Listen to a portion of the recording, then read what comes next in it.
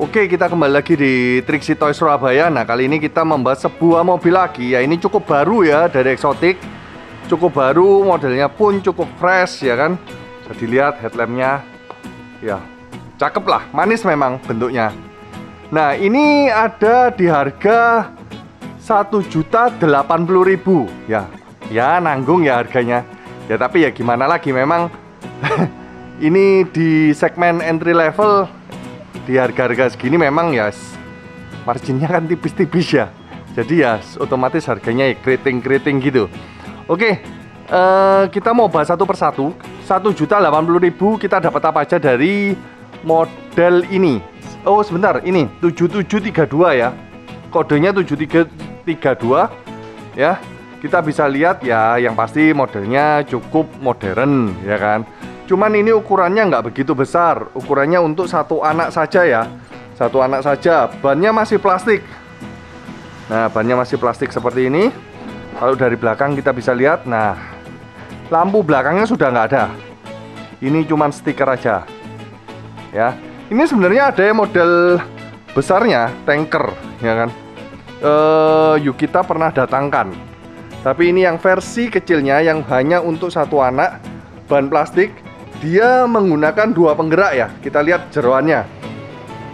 Nah akinya 12 volt 4,5 ampere. Receivernya masih pakai receiver kecil seperti ini ya. Nah eh, ini penggeraknya dinamonya juga nggak kelihatan sih RPM nya berapa. Cuman tenaganya ya sedang lah. Jangan diharapkan terlalu banyak. Ya di harga satu jutaan ya. Satu juta 80 ribu. Satu juta lebih sedikit. Ya terus kemudian apalagi ya uh, ya kalau dilihat seperti inilah. Pintu bisa dibuka ya. Pintu bisa dibuka. Nah di harga 1.080.000 di segmen entry level dia sudah dapat ya model yang lumayan. Ban plastik dua penggerak. Untungnya sudah 12 volt 4,5 ampere ya.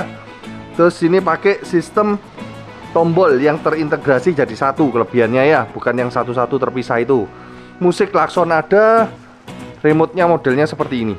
Ya. Oke bisa manual ngecasnya ada di sini bisa remote juga. Terus yang di sini ini uh, stiker juga ya tidak menyala.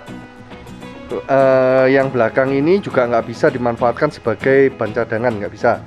Karena di tengahnya nggak ada lubang untuk oh ada sepertinya.